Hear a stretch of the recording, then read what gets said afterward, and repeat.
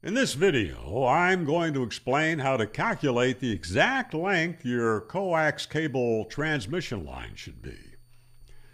So you start with measuring how much cable you will need to reach the feed point of your antenna. And then, well, you know what? That's it. The proper length of any coax transmission line is how much you need to reach the antenna. It can be any length for a single antenna. Now, unfortunately, there are myths about how long a coax transmission line should be.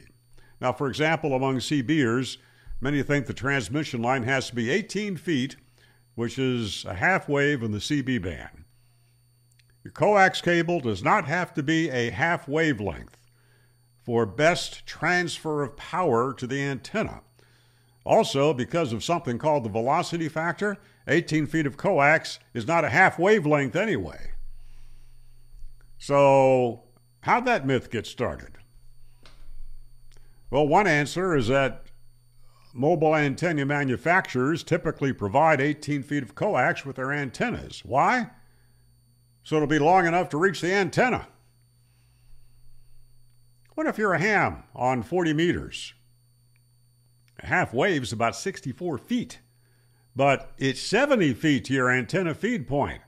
So now you have to add another 64 feet of cable. Sounds like a real waste of perfectly good coax to me. Well, wait. Doesn't SWR change at different points along the transmission line? Well, yes and no. If you could have a no loss transmission line, the answer is no. SWR, the ratio of standing waves, is set by the impedance match at the antenna feed point. So, if there is a 2 to 1 SWR at the feed point, it will be 2 to 1 anywhere along a transmission line with no loss. But coax has loss. That means the SWR will read lower at the transmitter end of a long, lossy transmission line and higher at the antenna feed point. However, with low loss coax, this usually is not a problem in the HF radio spectrum. Now, here's an example. Let's say you have 100 feet of RG8 at 10 megahertz, 30 meter band, which is about the middle of the HF spectrum. Its characteristic loss at that frequency is only one half of a decibel, 0.5 dB. Now, let's say your SWR measures 3 to 1 at the transmitter. Some people would consider that high. Well, because of cable loss at the antenna, the SWR is actually 3.5 to 1. So, in this example, hardly any difference.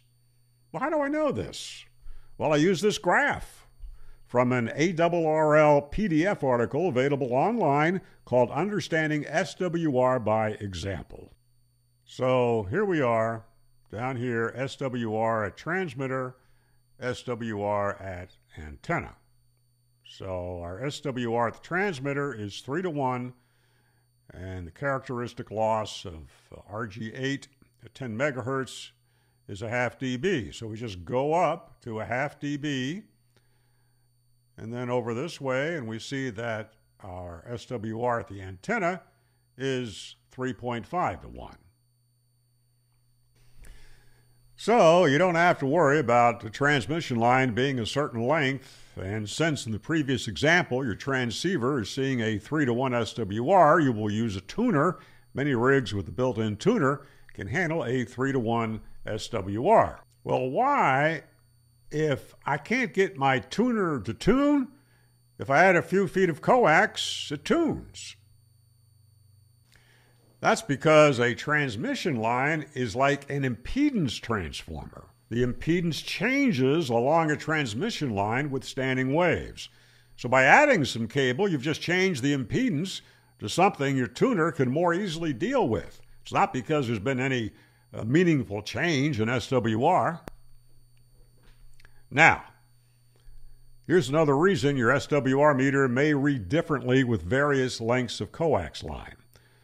The shield of the coax can become part of the antenna. Think about it. the shield is connected to one half of the antenna. So if you add coax, you're adding to the antenna, which will change the reading of your SWR meter, and current will also flow down the shield, affecting your meter reading and cause other annoying problems. Now, this is an undesirable situation in most cases, which can be corrected by a coax choke, often called a balun. It prevents the coax shield from being part of the antenna. They aren't hard to make or expensive to buy. Here's an example.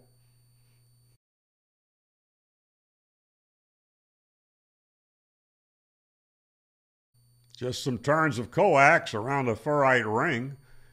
Now, if you feed an antenna with coax, and most of us do, you need a choke. I think two are better one at the antenna feed point and another at the transmitter end. Well, the shield of my coax cable running to my CB antenna isn't connected to the antenna. It's connected to the frame of my vehicle. Well, your car or truck is serving as the other half of the antenna. The part that sticks up is only half of an antenna. You can't have half of an antenna and expect it to work. That'd be like a battery with one terminal. You got to have a plus and a minus.